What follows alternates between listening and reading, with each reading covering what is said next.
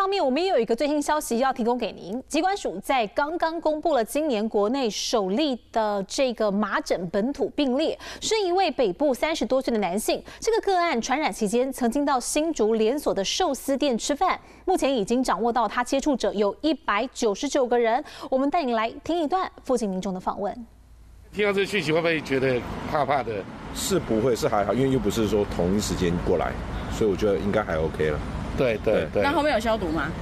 呃，店家说昨天就已经先消毒了。我觉得，但它是二月十一号就发生的，不是到现，不是这两天。对啊，这个倒不怎么担心。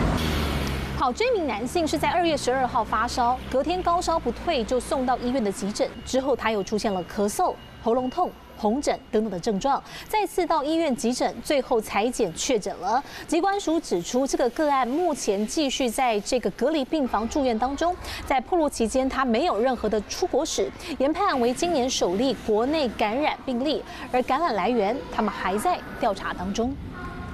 Hello，我是雷亚，想要抢了先掌握最及时的新闻资讯吗？赶快订阅、按赞、开启小铃铛，锁定华视新闻 YouTube 频道。